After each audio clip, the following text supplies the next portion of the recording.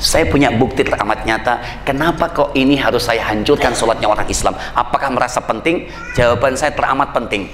Saya terinspirasi dengan hadis-hadis Nabi yang saya baca pada waktu itu sudah terjemahkan bahasa Indonesia. Saya kumpulkan dan pelajari. Kita lihat sekarang. Apa hukumnya seorang yang ketika mendengar azan dia nggak mau sholat? Santri jangan sembarangan di pondok dengar azan segera sholat. Kalau perlu sebelum mendengar azan, waktu sholat mungkin 15 atau 30 menit, Anda sudah bersih diri, datang ke masjid. Menunggu waktu sholat itu lebih baik. Amalan ini kelihatan sepele, tapi jangan disepelekan. Kelihatan sepele ibu, tapi jangan pernah disepelekan. Allah hitung itu. Tidak akan mungkin Allah memberikan rizki dan petunjuk hidayah, rahmat dan lain sebagainya dalam kategori positif kepada seorang hamba apabila satu dan lainnya amalannya beda. Contoh begini, gak akan mungkin ini rahmat Allah akan disamakan. Yang satu dia begitu terdengar azan dia baru datang ke masjid. Yang satu sebelum azan dia sudah tahiyatul masjid. Sudah barang pasti yang paling dicintai Allah adalah orang yang sebelum terdengar azan sudah di masjid. Terus bagaimana bagi orang yang terdengar azan kok nggak mau datang ke masjid? Apakah kira-kira masuk di dalam rahmat Allah? Logika saya karena tidak akan mungkin dapat. Maka dari itu berlomba-lomba untuk memantaskan diri supaya kita dibantu oleh Allah. Itu tanggung jawab kita. Jadikan kita ini pantas dibantu oleh Allah. Hal yang pertama yang saya rusak adalah perkara sholatnya orang Islam. Kita lihat Bapak Ibu al jafa kullul jafa. Kebatilan di atas kebatilan kata Nabi wal kufru wan nifaq. Kufur dan munafik. Kufur yang munafik itu yang bagaimana? Man sami'an nida'a ila salati fala yujibuhu. Yaitu orang yang ketika mendengar azan untuk salat fala yujibu tetapi tidak mensegerakan. Maaf tak pertegas kembali ini hadis sahih. Hanya gara-gara kita mendengar azan gak segera sholat kita sudah dibilang sama Nabi kufur dan munafik. Aturan kita langsung datang. Contoh begini contoh contoh. Nih bapak ibu di rumah nih. Mungkin yang tukang jahit. Tahu tukang jahit? Dia lagi sibuk ngejahit nih. Tahu-tahu dengar azan. Allahu Akbar Allahu Akbar. Tanpa disadari kalau tukang jahit ini nggak segera sholat, nggak ditinggalkan kerjaannya, sama saja dia memerintahkan Allah untuk tunggu lagi aja nih. Tunggu Allah tunggu. Jahitan mau diambil. Jahit aja terus. Yang tukang bengkel begitu. Hayala sholat aduh tanggung banget lagi bongkar mesin motor. Ntar habis asal mau diambil. Dan sahabatnya tunggu deh. Tanpa disadari dia sudah memerintahkan Allah untuk menunggu. Padahal itu dipanggil oleh Allah taala. Bagaimana mungkin hidup kita akan berkah? Paham di sini maka hal yang pertama kali saya buat adalah hancurkan orang Islam dengan perkara sholat supaya dia nggak bangga di awal waktu as-sholatul jamaah ma'al imam hati-hati tanda-tanda sholat kita rusak kalau nggak bangga berjamaah memakmurkan masjid apakah sholat di rumah itu nggak boleh Ustaz? oh siapa bilang nggak boleh? saya tidak mengatakan bahwa sholat sendirian itu nggak boleh tidak, boleh Apakah sholat sendirian itu nggak sah Ustaz? Siapa bilang nggak sah? Saya tidak mengatakan yang sah. Tidak mengatakan tidak sah, tidak.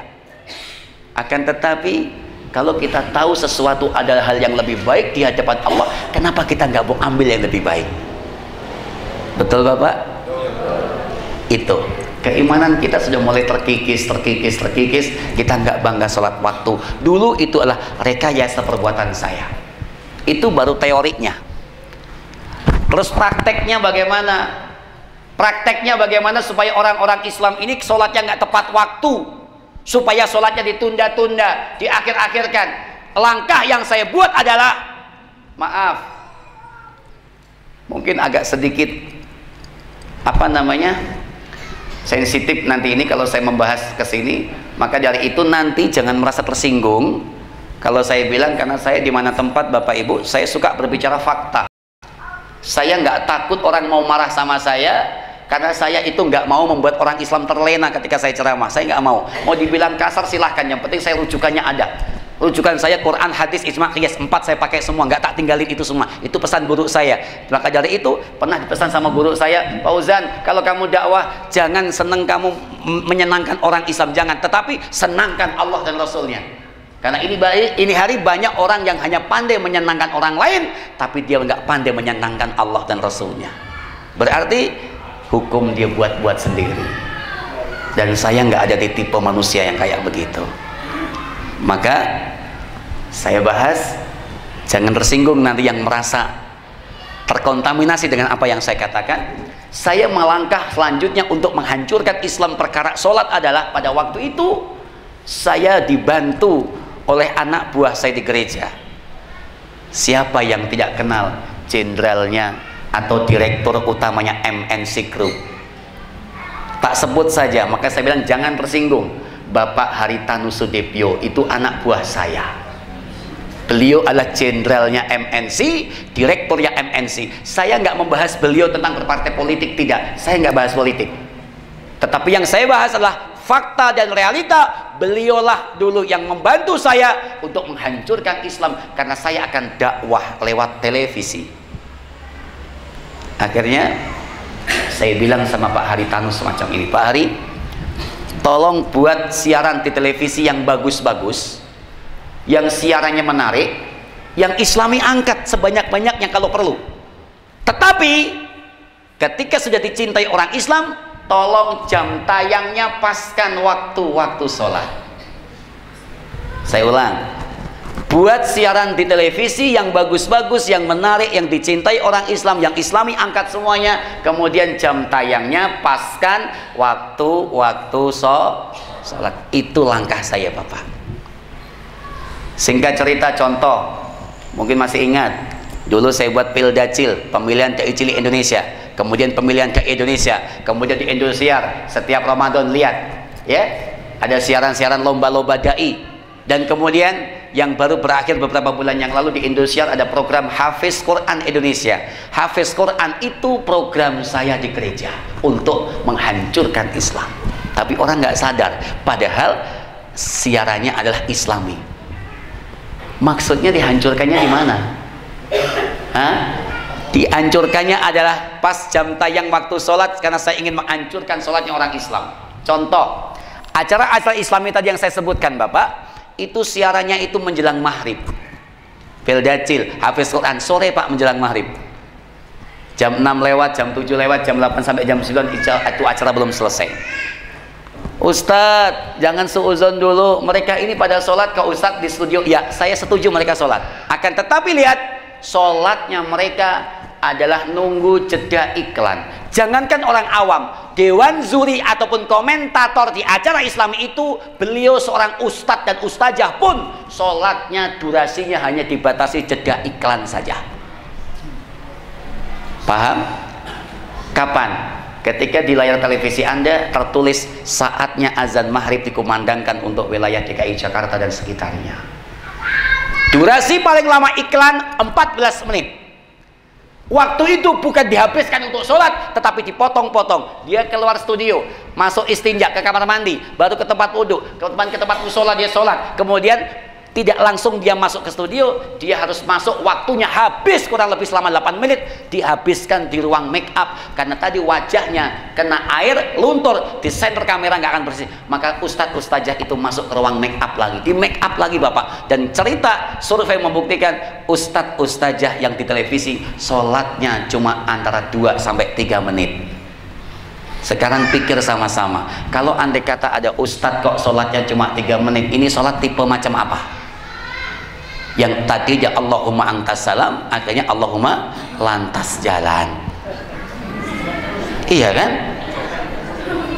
Ada doa di antara dua sujud. Ada doa di antara dua sujud. Makanya disuruh tumak nina dia nggak ngerti ke situ. Hilang keilmuan di pesantren. Rabbik firli warhamni wajiburni warfa'ni warzukni wahdini wa'afini wa'fu'ani itu langkah-langkah saya menghancurkan sholatnya orang-orang Islam. Na'udzubillah thumma na'udzubillah. Hancur semua Bapak Ibu. Akhirnya lihat mereka sholat sudah hancur ibadah sudah hancur otomatis sholat yang semacam ini sholat yang rusak. Demikian juga dengan orang-orang di rumah mengikuti program televisi itu. Singkat cerita kalau ini sudah paham saya hancurkan kita lihat siaran berikutnya. Siapa yang tidak kenal dengan Dangdut Academy? Ah Dangdut Akademi 1 dari mulai Lesti sampai dengan Dangdut Akademi 4 Fil dan Bau-Bau. Sampai tengah malam ditonton. Menjelang maghrib baru mulai. Betul tidak? ya Allah. Kok kayak begitu orang-orang Islam? Hancur Pak sudah. Dan itu adalah program saya pada waktu di gereja. Kemudian anak-anak kecil kita ibu nah, ini ada rombongan dari mamah dedek biru-biru semuanya.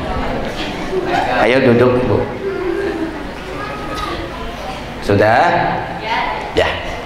Ibu yang baru datang jangan berisik ya. Awas temen tangannya keinjek jangan diinjek-injek. Duduk yang bagus.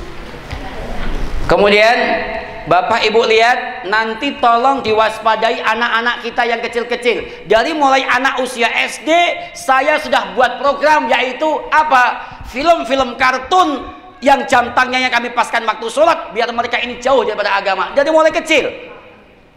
Pada saat pertama kali film kartun itu tayang tidak pas jam sholat tidak tetapi ketika sudah mulai dikenal film itu sama anak-anak, disukai, langsung pindah jam tayang, geser, masukkan waktu akan menjelang sholat maghrib.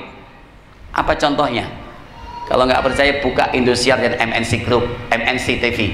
Di situ ada yang namanya sinetron anak-anak Upin Ipin. Upin Ipin sekarang jam tayangnya menjelang maghrib.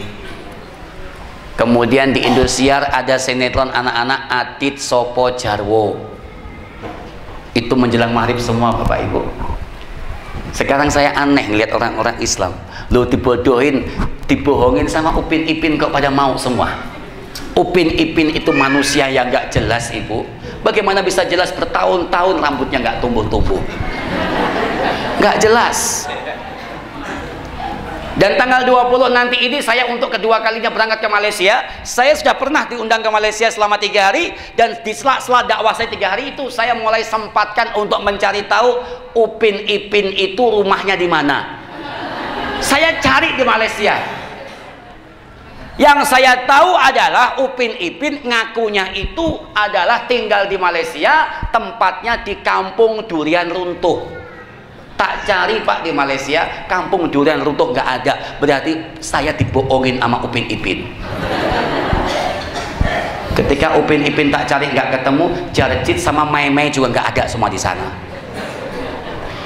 Maka dari itu kita jangan terpengaruh. Ini hanya sinetron anak-anak semacam itu. Belum lagi sinetron anak-anak yang dewasa. Kita lihat sekarang kalau anak-anak muda ada yang namanya anak langit, ada si boy anak jalanan, mereka masih sekolah pacar-pacaran, nembak perempuan, nembak laki-laki di depan orang umum. Lu kayak gitu kok dicontoh sama anak Islam. Betul nggak? Kalau memang kau terima cintaku, silahkan kau ambil coklat ini. Kalau tidak silahkan kau buang. Ini teori apaan? Tidak ada budaya Islam semacam itu dan sinetron anak-anak muda ini sengaja untuk menghancurkan orang-orang Islam dan kita nggak pernah menyadarinya. Itu program saya untuk menghancurkan orang-orang Islam yang pertama. Perkara sholat sudah kita hancur. Jelas Bapak Ibu ya? Sebetulnya masih panjang ini tentang perkara sholat. Saya nggak akan jabarkan lagi. Langsung saja karena waktunya singkat. Supaya nanti kena semuanya ya? Saya takut nanti saya nggak bisa silaturahmi ke sini. Bukan sombong ibu ya? Karena memang waktunya sudah diatur sama manajemen saya. Jadi saya nggak bisa untuk sembarangan datang datang datang begitu. Ini mumpung saya ada di sini. Ya bu ya? Mudah-mudahan walaupun cuma sebentar nanti ibu paham lah apa yang saya maksudkan ya?